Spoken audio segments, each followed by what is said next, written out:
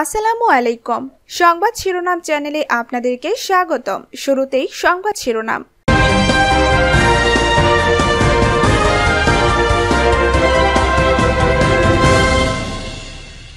সরকার পরিকল্পিতভাবে দেশের স্বাস্থ্য ব্যবস্থাকে ভেঙে দিয়েছে।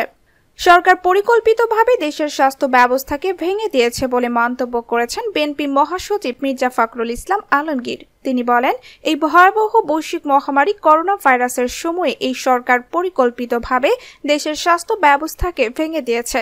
তাদের উদাসীনতা, অযোগ্যতা, ব্যর্থতা ও দুর্নীতি আজকে দেশকে এবং দেশের মানুষের জীবনকে বিপন্ন করে ফেলেছে। জীবিকাকে বিপন্ন করে ফেলেছে। সোমবার দুপুরে বিএনপির প্রয়াত সহ সাংগঠনিক সম্পাদক আব্দুল আওয়াল খানের প্রথম মৃত্যুবার্ষিকী উপলক্ষে এক ভার্চুয়াল স্মরণ সভায় তিনি এসব কথা বলেন। আব্দুল আওয়াল খান ফাউন্ডেশনের উদ্যোগে স্মৃতিতে অম্লান শীর্ষক এই সভা হয়। গত বছরের বিশে জুলাই করোনায় আক্রান্ত হয়ে মারা যান আওয়াল। মির্জা ফখরুল বলেন, হাসপাতালগুলোতে বেড নেই, অক্সিজেন নেই, আইসিইউ বেড নেই এবং ঔষধ নেই। এই একটা অবস্থা সরকার সৃষ্টি করেছে।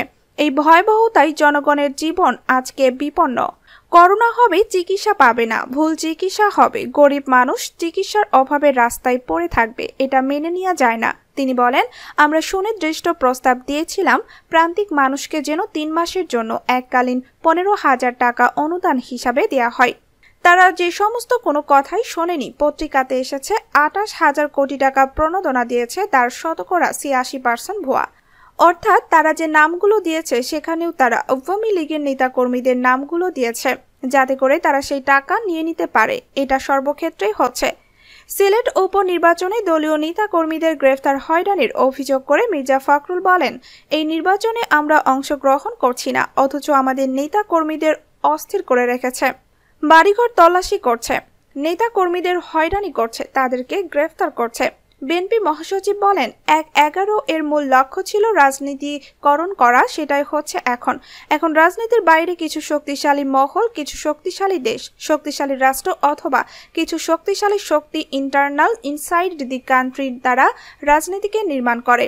এই রাজনীতি ট্রাম্পড হয়ে চলে গেছে, যেখানে রাজনীতিবিদদের হাতে আর সেই ক্ষমতা নেই। তিনি বলেন আমরা দেশনেত্রী খালেদা জিয়ার নেতৃত্বে বিএনপিকে ধরে রেখেছি, ধরে রাখার চেষ্টা করেছি, ধরে রাখতে পেরেছি। বিএনপিকে অনেকবার ভাঙার চেষ্টা হয়েছে, অনেকবার বিএনপিকে ধ্বংস করে দেওয়ার চেষ্টা হয়েছে, কিন্তু কখনোই ভেঙে ফেলতে পারেনি। কারণ একটাই, আমাদের শহীদ প্রেসিডেন্ট জিয়াউর রহমান যে দর্শন দিয়েছেন, সেটা জনগণের অন্তরের সঙ্গে একাত্ম হয়ে গেছে। মির্জা ফখরুল বলেন, সরকারকে হটাতে হবে এর জন্য বিএনপির দায়িত্বটা বেশি।